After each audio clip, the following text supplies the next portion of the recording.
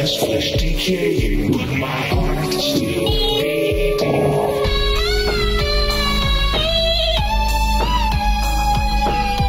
My creation is a real superstition. There's a feel.